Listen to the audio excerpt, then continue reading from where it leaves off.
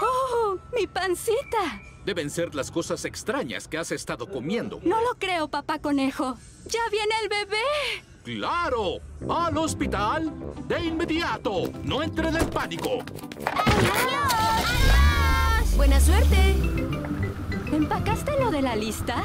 Empaqué todo. Almohadas, velas aromáticas, música de yoga y comida para tres días. ¡No entren en pánico! ¡No entren en pánico! ¿Hay alguien aquí? ¡Vamos a tener un bebé! Hola, hermana. ¿Pero qué haces aquí? Voy a tener un bebé. ¿Ya lo olvidaste? Ah, sí. Será mejor que entres. ¿Puedo pasar también? ¡Mu! No olvide estacionar bien su auto. No se preocupe, tener un bebé siempre tarda mucho tiempo. A un lado todo el mundo. Mi hermana va a tener un bebé. Un hervidor y muchas toallas. Esto será suficiente para algunos días. Ay, ¿Dónde pongo todo esto? En el auto. Ya no lo necesitamos. ¿Qué?